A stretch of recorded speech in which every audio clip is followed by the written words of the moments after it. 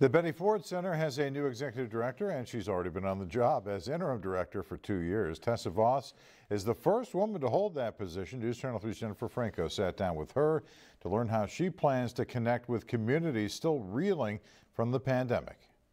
I'm proud to carry on that legacy. A legacy started by First Lady and addiction advocate Betty Ford in the early 80s. For Tessa Voss, her path to helping those with addiction and substance use disorders started with the loss of friends to opioids. It was one of the reasons she applied to the Hazelden Betty Ford Graduate School in 2010. It really caused me to ask myself, what can I do to give back?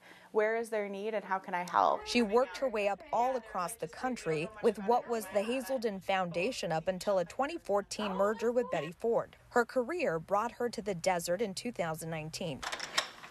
Aside from administrator, she's also serving as VP of the Hazelden Betty Ford Foundation's California region. Voss takes this on as many people struggle with isolation from the pandemic and other stressors like losing a job or loved one. Those are just some of the issues. We've also seen treatment centers and community resource programs shut their doors. And so we're committed to staying open as we have through the pandemic. Another priority reaching anyone seeking care across California through tools like increased virtual services, especially at a time when Riverside County faces an increase in overdose deaths, more than half linked to fentanyl. The easing of some COVID restrictions and more vaccinations have brought a shift. More people are accessing help.